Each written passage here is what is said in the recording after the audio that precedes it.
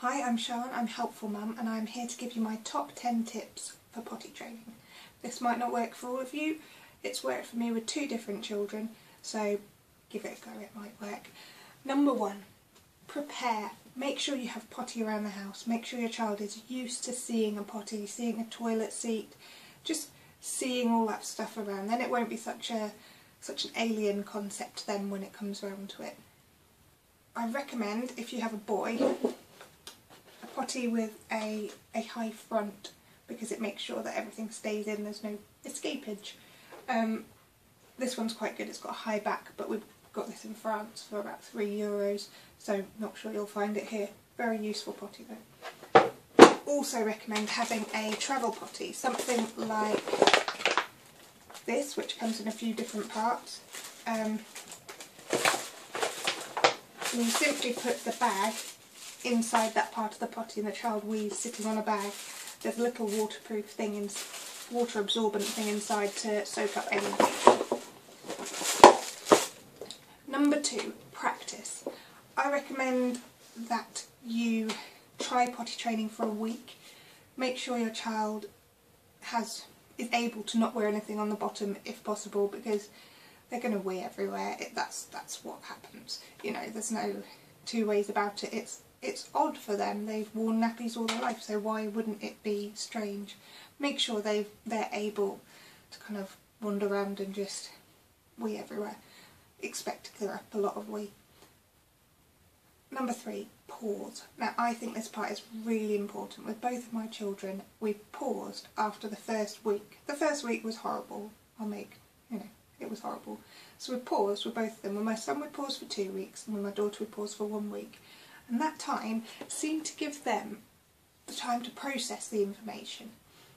It got them used to that idea so that when we came back to it in two weeks or one week's time, they understood that part. So they knew what was coming and they'd sort of processed it and learnt about it. And I think that made a big difference to them.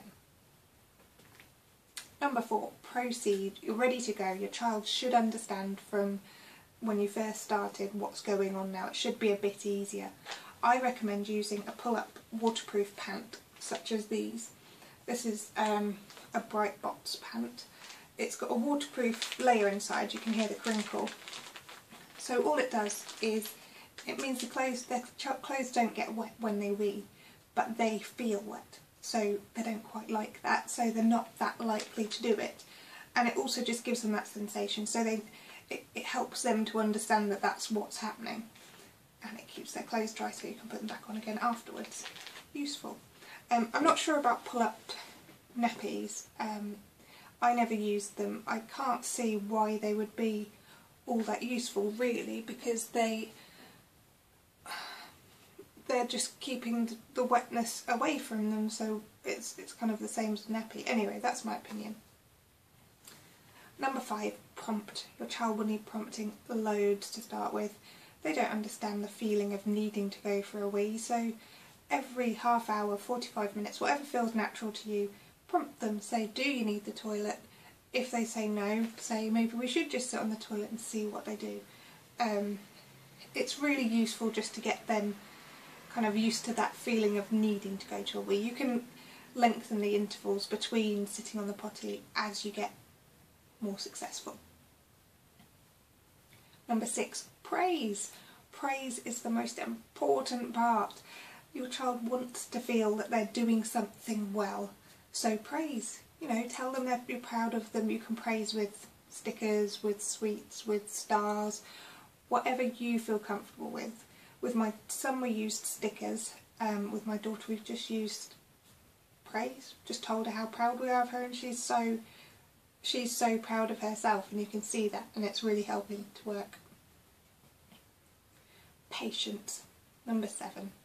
It's not going to happen very quickly necessarily. Be patient with them. Don't grumble at them if they make if they have an accident. That's they don't know. They're very small generally. You know, it's it's all new to them. Don't don't put them down at any point.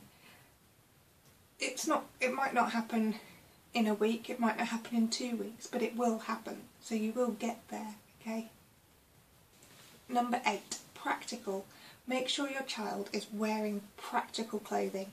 Once they start to understand when they need to go to the toilet, they'll want to take themselves off because it's a bit of independence for them. Make sure they've got some clothes on that are easy to pull down and they can go and do that and feel like they've accomplished something. Number nine, persevere. It will happen. As I said before, it might not happen overnight, it might not happen over a week or two weeks. Both of mine took two weeks, which was brilliant. Um, but it will happen and they will be dry and they will have achieved something pretty massive for them. So just persevere, you'll get there. Number 10, party. You have reached the end of an era with your child. It's um, a huge step forwards for them. You've saved yourself some money, now you're no longer buying nappies, so maybe you could treat yourself to a glass or two of wine, or sparkling grape juice if you don't drink wine. So that's those are my top 10 tips. I also recommend, um, we have this, which looks quite a monstrosity. It is a seat for the toilet and it has a step on it. So it's a really, really useful potty training thing because even my son still uses this and he's coming up to five and it's just easy for him to get onto the toilet with it. There's a step up handles, you can adjust the height of the step and I really recommend something like that. Um, I wasn't sure about it to start with but actually it's been one of the best things we've ever had for potty training. So those are my top tips. Alright, bye.